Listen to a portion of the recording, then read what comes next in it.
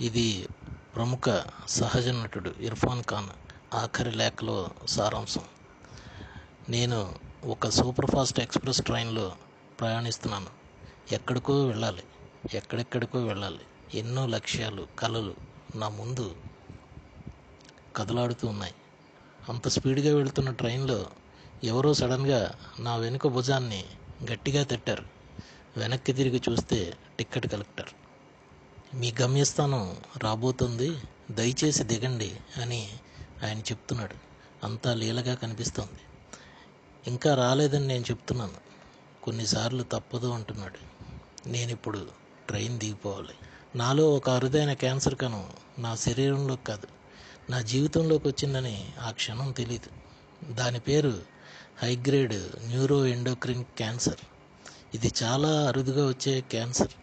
అందుకని ట్రీట్మెంట్ ఎలా జరుగుతుందో తెలియదు వీళ్ళందరికీ నేను ఒక ట్రయల్ అండ్ ఎర్రర్ గేమ్లో ఉన్నానని మాత్రం తెలిసింది. ఒకసారి ఆసుపత్రికి వెళ్ళాను భయపడితే ముందే అది నన్ను ఆవహిస్తుందని గ్రహించాను నేను పిరికివాడిగా మారకూడదని ఆ క్షణం అనుకున్నాను.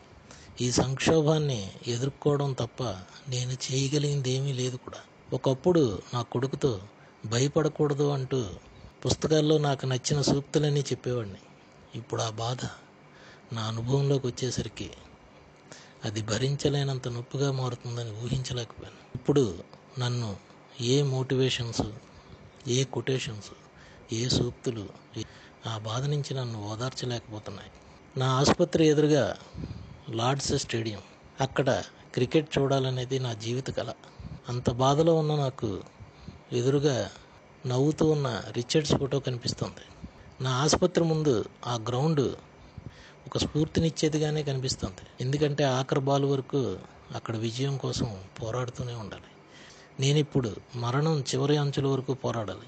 కానీ నాలో ఏ స్పందన లేదు. ఆ కనిపిస్తున్న ప్రపంచం ఎప్పుడు నాకు చెందినది కాదు అని మాత్రం అనిపించింది. జీవితానికి మరణానికి మధ్యలో ఒక రోడ్డు మాత్రమే అక్కడ కనిపిస్తుంది. అక్కడే ప్రయాణించాలి. అది కారులోన సైకిల్ మీద నడుస్తున్నా. అనేది మన ఆలోచనలు మన ఆలోచనలు ఆకాంక్షల స్థాయిని బట్టి అక్కడికి చేరుకునే విధానాలను బట్టి ఉంటుంది. కానీ ఆ ప్రయాణం శాశ్వతం కాదు. అనంత విశ్వంలోని అద్భుతాలు మేధోశక్తి ముందు నేను ఒక చిన్న ధూళికణంలా మారిపోతున్నాను. మొదటిసారి స్వేచ్ఛ అంటే తెలుసుకున్నాను. బతికి ఉన్నంతకాలం ఏది కావాలనుకుంటే అది చేయాలి అని చివరి రోజుల్లో అనుకోవడం విధి వైచిత్రలాగే ఉంది. కానీ నా జీవితంలో గొప్ప ఆత్మసంతృప్తి ఏమిటంటే ఈ నా ప్రయాణంలో ఇంతమంది ప్రజలు నేను బాగుండాలని కోరుకుంటున్నారు. ప్రపంచం నలుమూలల నుండి మతాలకు అతీతంగా నా కోసం ప్రార్థనలు చేస్తున్నారు. అవన్నీ ఒక పెద్ద కరెంటు ఫోర్స్లా నా శిరస్సు పైభాగానికి చేరుతున్నాయి. ఆ శక్తి మొలకెత్తుతుంది. వేర్లు వస్తున్నాయి. ఆకులు కొమ్మలుగా పెరుగుతూ మొగ్గ తొడుగుతూ ఎదుగుతోంది. ఆ శక్తి ఒకటే ఆ తృప్తి ఒకటే నేను ఇప్పుడు సాధించింది. ఈ ప్రపంచం అంతా ఎప్పట్లాగే వేగంగా వెళ్ళిపోతుంది. నేను మాత్రం ఇక్కడే నిలబడిపోయాను. నేను అనుకుంటాను ఏదో ఒక రోజు ఈ ప్రపంచం నుంచి మనం కూడా నటించడం ఆపేయాల్సి ఉంటుంది. ఒక్కొక్కసారి పొరపాటున వేరే రైలు ఎక్కినా అది మనల్ని గమ్యస్థానానికే చేరుస్తుంది. భగవంతుడు మనకెన్నో ఇస్తాడు. అలాగే మన దగ్గర నుంచి అంతకన్నా విలువైనవి ఎన్నో తీసుకుంటాడు. దిండు దుప్పటి కప్పుకొని వీలైనంత వరకు ఈ ప్రపంచాన్ని చూడు. ఏదో ఒక రోజు ఆలస్యం అయిపోయిందని మాత్రం చింతించు.